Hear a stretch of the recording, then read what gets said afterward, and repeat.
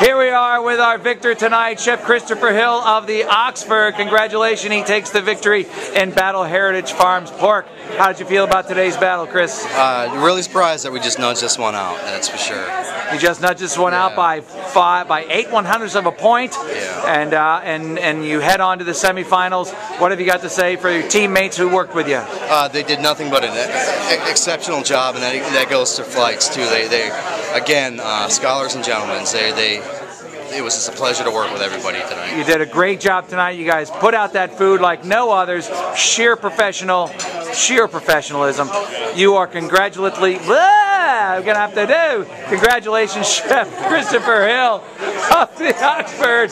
We're losing it at this point. We'll see y'all at the bar. Semifinals on the way. Christopher Hill of the Oxford. Thank you very much, Jim.